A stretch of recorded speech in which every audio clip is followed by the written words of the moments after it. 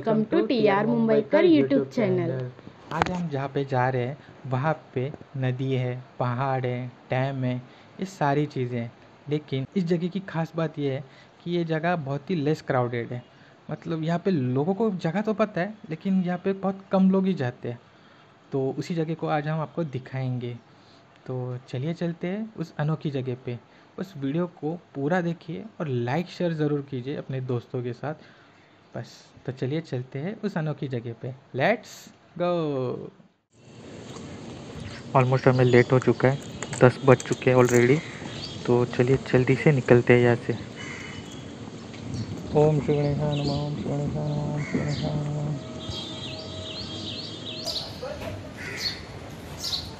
तो चलो अभी निकलेंगे। ये भी रेडी है। मैं भी रेडी हूँ। और ये भी रेडी है। चलो। गणपति बापा मंगल मूर्ति।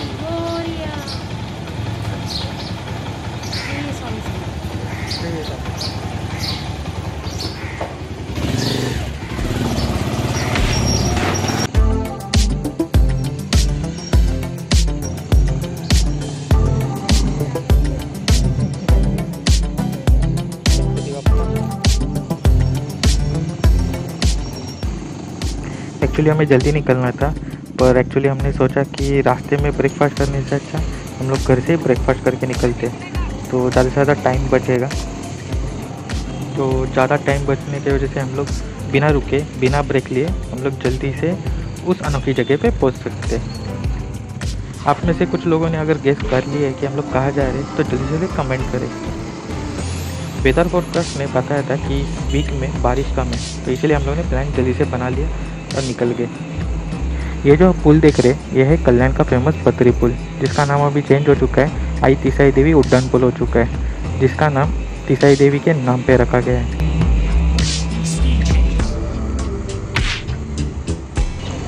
यहाँ से अभी हमें लेफ़्ट लेना है। अगर सीधे जाएँगे तो कल्याण स्टेशन आता है। बारिश के मौसम में एक ही प्रॉब्लम है। रास्ते में इतने गड्ढे हो चुके हैं और कीचड़ भरा है। जिससे फिर बहुत ज़्यादा प्रॉब्लम होती है। अभी हम लोग पहुँचे हैं कल्याण के दूध नाका पे। इस जगह का नाम दूध नाका इसलिए पड़ा है क्योंकि यहाँ पे बहुत सारे तबेले हैं, जहाँ से पूरे कल्याण को दूध सप्लाई होता है। और इस जगह पे एक स्पेशल चाय मिलती है, जिसका नाम है तबेला चाय। इस चाय के लिए बहुत लोग आते हैं स्पेशली वीकेंड पे और शाम के टाइम पे। बहुत रश होती है।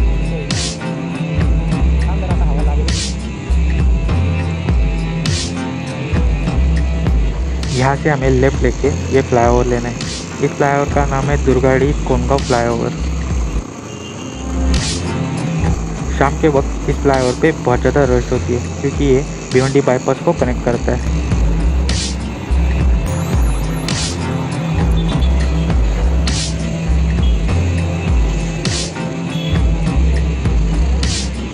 आज वीकेंड है, इसलिए रोड पे ट्रैफ़िक थोड़ा मीडियम है। यहाँ से अभी हमें राइट लेना है।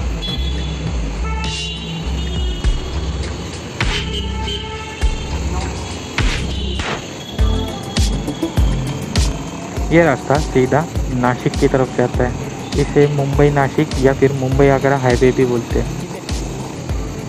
अब तक तो आपको पता ही चला होगा कि हम लोग किस जगह पे जा रहे हैं। तो जिनको नहीं पता चला, उनको मैं ज़्यादा सस्पेंस में नहीं रखूँगा तो हम लोग जा रहे हैं आज इगतपुरी। एकदम खाली रोड और क्या नज़ारा है। मज़ा आ रहा है बाइक चलाने में, एकदम सुकून मिल रहा है।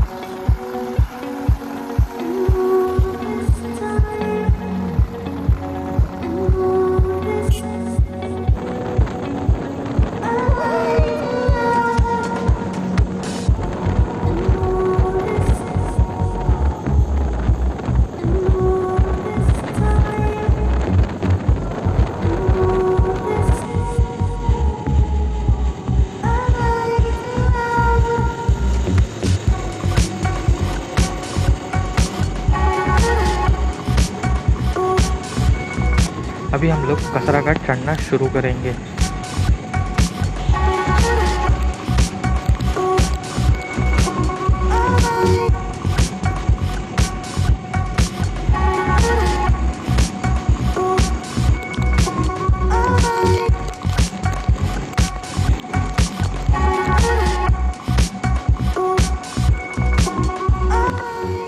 ये देखिए, ये वो सेक्शन है जहाँ पे रोड और रेलवे का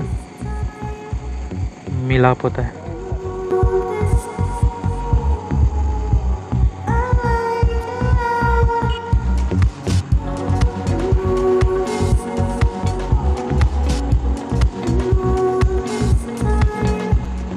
कसरा घाट की खूबसूरती एकदम नेक्स्ट लेवल की बन चुकी है बारिश के इस मौसम में।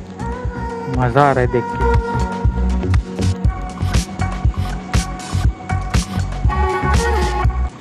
सभी बाइकर्स को जो रूट पे कर्व्स होते हैं, वो बहुत ज़्यादा पसंद आते हैं क्योंकि घाट सेक्शन में सबसे ज़्यादा कवर पाए जाते हैं। मज़ा आता है इस पर बाइक चलाने में। यहाँ पे थोड़ा आराम से टर्न देना क्योंकि यहाँ पे टर्निंग पे खड्डे होते हैं तो बाइक स्लिप हो सकती है।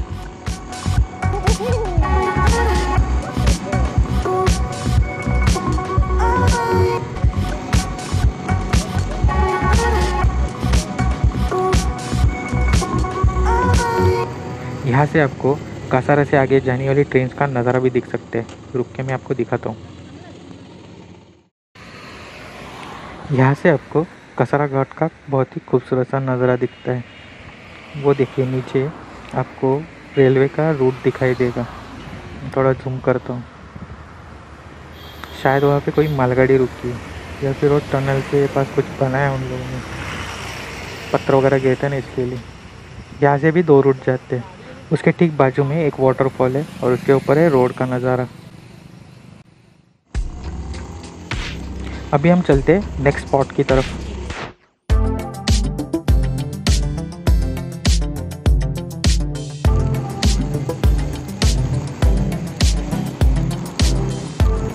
यहाँ पे कसारा घाट का 14 से 15 किलोमीटर का घाट सेक्शन ख़त्म होता है।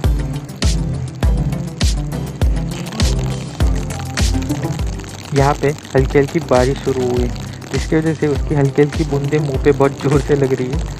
बारिश बहुत ज़्यादा तेज़ नहीं है, बहुत ही हल्की हल्की सी है और ऐसी होनी चाहिए राइड के लिए, तभी मज़ा आता है।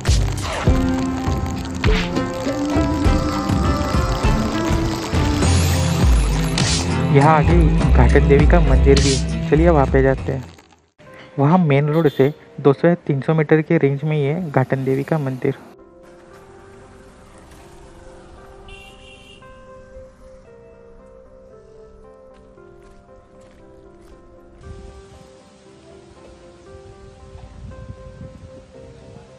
जय माता दी।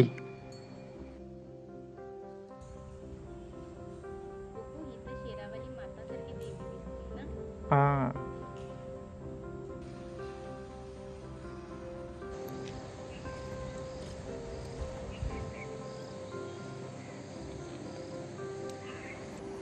घाटन देवी के सामने ही आपको कैमल वैली नज़र आएगी।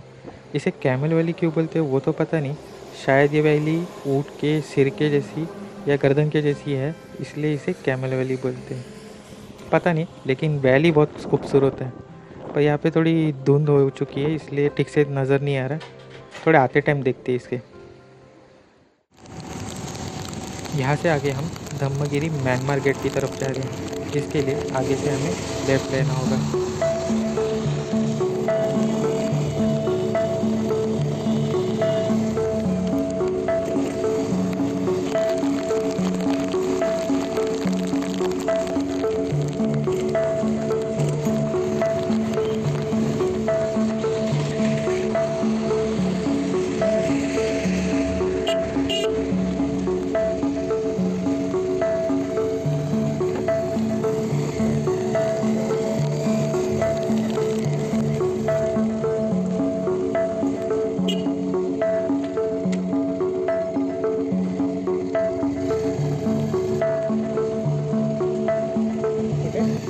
लो पहुँच गए हम। धम्मगिरी म्यांमार गेट के यहाँ।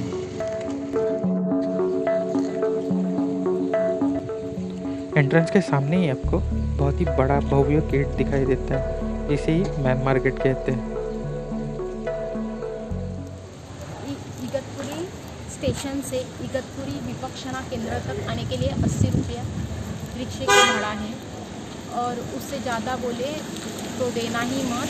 और ज़्यादा बोले तो इधर अ, बता देना पुलिस स्टेशन में तो इंक्वायरी हो सकती है ऐसा लिखा है इधर।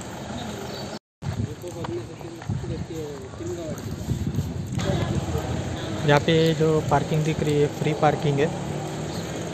कार बस कुछ भी है ये। यहाँ पे कोई चार्जेस नहीं लेते बट यहाँ पे एंट्री करनी है।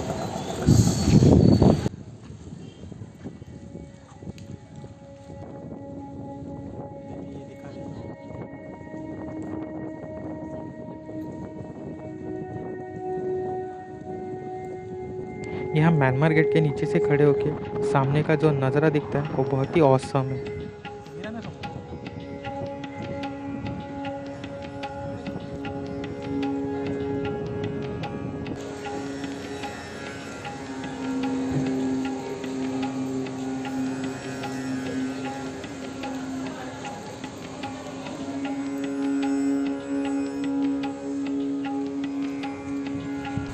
अशोक स्तंभ।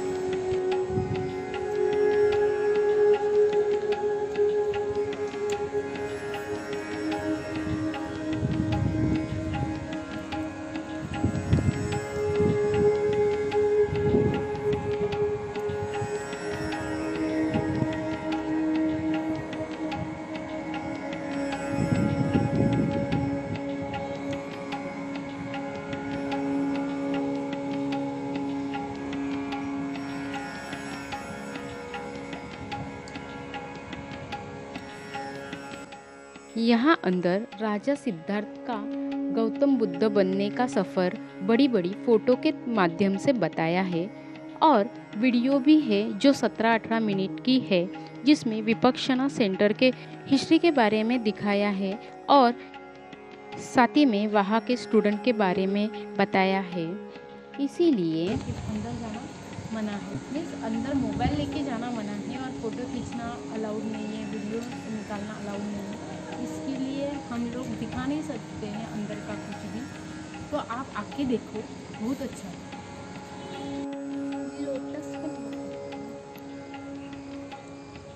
म्यांमार गेट के बगल में ही विपक्षना सेंटर को जाने के लिए रास्ता है। वहाँ पे स्टूडेंट्स को जाना अलाउड है। मतलब जो विपक्षना सेंटर में जाने वाले स्टूडेंट्स हैं उनको। बाकी नॉर्मल विजिटर्स को जाना मना है। पता नहीं उन्होंने अब क्यों मना करके रखा है। क्योंकि पहले तो वहाँ लोग जाया करते थे, अभी तो नहीं जा सकते वहाँ। ये दूसरा गेट है, जहाँ से भी विपक्षना सेंटर के स्टूडेंट्स जाते हैं। चलिए, म्यांमार गेट तो देख लिया, अभी नेक्स्ट स्पॉट पे जाते हैं। वैसे म्यांमार गेट है बहुत ही बढ़िया, अगर इगतपुरी विज़िट करते हैं तो यहाँ पे ज़रूर आइए। अभी चलते हैं नेक्स्ट स्पॉट की तरफ़। हमारा नेक्स्ट स्पॉट है भावाली डैम और वाटरफॉल जो कि विपक्षना सेंटर से आठ या दस किलोमीटर की दूरी पे ही है।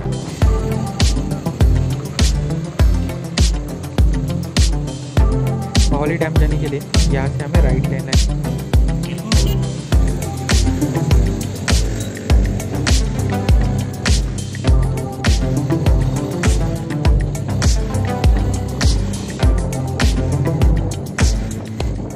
सामने से जो रोड जा रहा है, ये शायद मुंबई नागपुर समृद्धि हाईवे। हाँ ये वही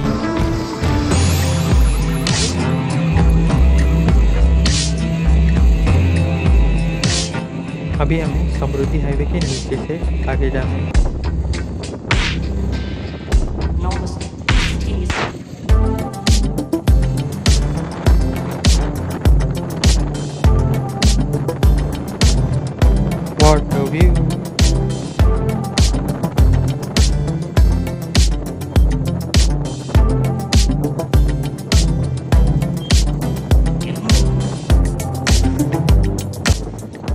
पुलिस का कड़ा पहरा है यहाँ पे। लोगों ने हेलमेट नहीं पहने, उन्हें पकड़ के रखा है।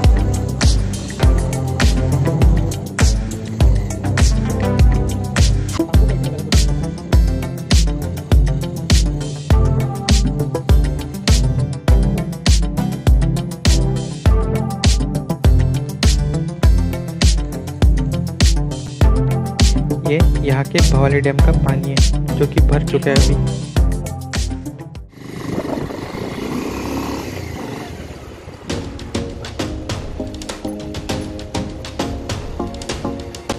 अभी चलते हैं वाटरफॉल देखने। ये रहा पहला वाटरफॉल नहीं नहीं बोल के भी बहुत लोग आए यहाँ पे देखने के लिए वाटरफॉल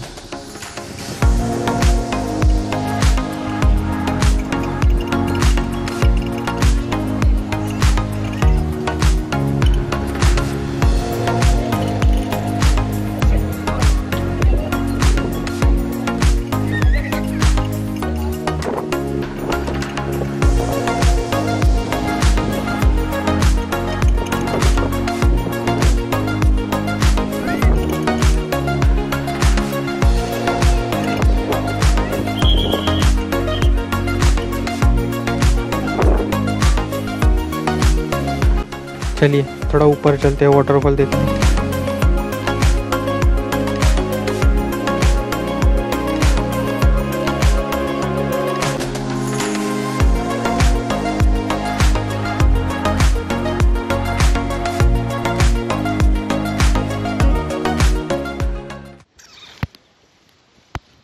यहाँ से बाहुली डैम का बहुत ही खूबसूरत नज़ारा दिख रहा है। एक्चुअली पुलिस आ, लोगों को भगा रही है क्योंकि बहुत लोग आए हैं ना वाटरफॉल देखने। इसलिए हम भी फटाफट वीडियो निकल के निकल गए वहाँ से और यहाँ पे आए डैम को देखने। बाहुली डैम तो अगस्त में ही फुल भर चुका है।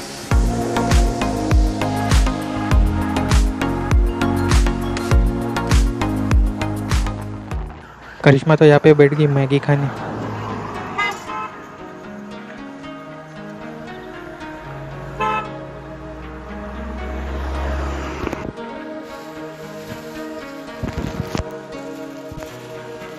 मैगी खाने के लिए बैठी मैगी, भूख लगी। हाँ वैसे भूख तो लगी, क्योंकि ब्रेकफास्ट के बाद हम लोगों ने कुछ खाया ही नहीं।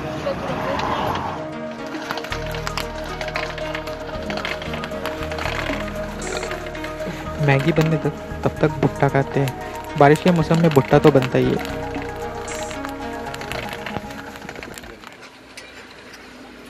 अच्छा लगा लगता है इसे, भुट्टा? बहुत ही चाव से खा रही है।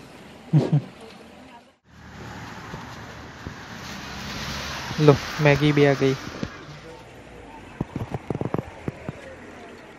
कैसी है मैगी?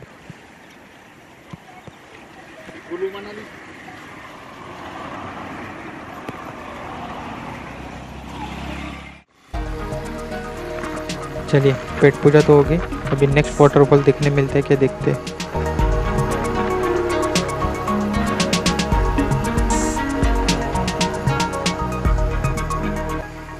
यहाँ पे भी लोग हैं, पर कम है वहाँ से।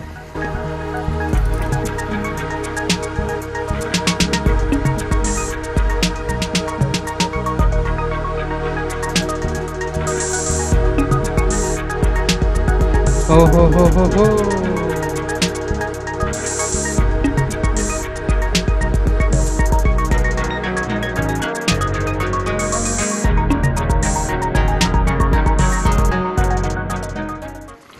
वक्त की कमी और पुलिस के वजह से हमें वाटरफॉल में नहाने को तो नहीं मिला। पर कम से कम वाटरफॉल देखा और आपको दिखाया तो सही।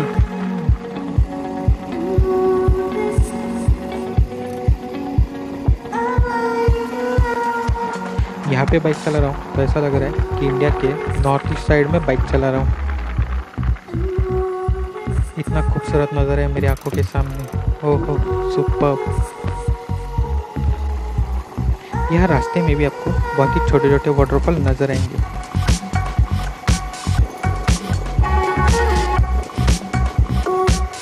यहाँ साइड में दो मिनट रुकते हैं और डैम का मस्त नज़ारा देखते हैं।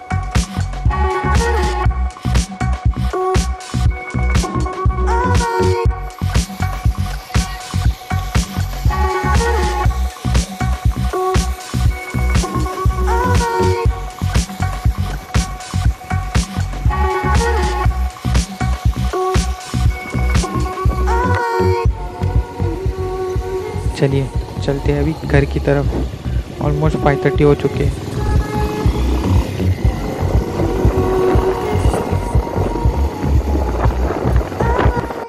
यहाँ हाईवे के बाजू में रुक के थोड़ा कैमल वैली को अच्छे से देखते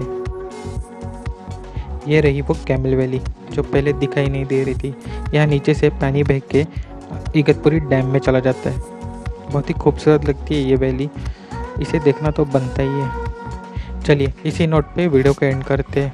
अगर ये वीडियो अच्छा लगा हो तो वीडियो को लाइक शेयर करें अपने दोस्तों के साथ और चैनल को सब्सक्राइब करें। मिलते हैं नेक्स्ट ब्लॉग में, तब तक के लिए बाय बाय